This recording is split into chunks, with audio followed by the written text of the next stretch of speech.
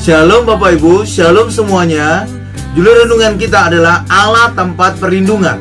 Allah itu bagi kita tempat perlindungan dan kekuatan sebagai penolong dalam kesesakan sangat terbukti. Sebab itu kita tidak akan takut sekalipun bumi berubah, sekalipun gunung-gunung goncang di dalam laut.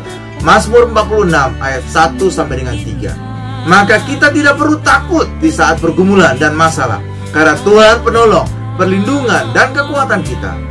Saat kita memanggilnya, dia akan menjawab dan membebaskan kita. Allah tempat perlindungan digambarkan orang Israel sesuai dengan pengalaman mereka.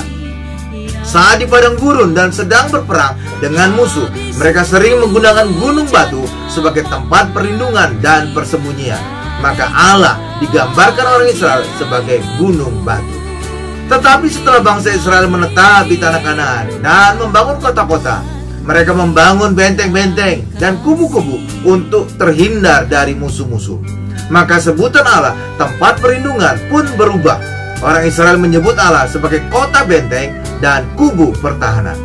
Allah juga digambarkan sebagai perisai dan tanduk keselamatan karena saat berperang orang Israel, orang Israel memakai perisai dan helm yang bertanduk. Orang Kristen sering digambarkan sebagai laskar Kristus. Karena itu digambarkan sebagai laskar yang mengenakan segala senjata Allah.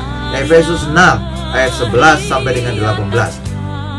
Tetapi karena perjuangan kita bukan melawan darah dan daging, maka perlengkapan senjata Allah yang kita pakai juga adalah senjata rohani, bukan senjata jasmani. Yesus telah menang perang melawan iblis, sehingga perjuangan kita bukan untuk meraih kemenangan, tetapi bertahan dalam kemenangan Kristus. Itulah sebabnya iblis melawan kita dengan tipu muslihat.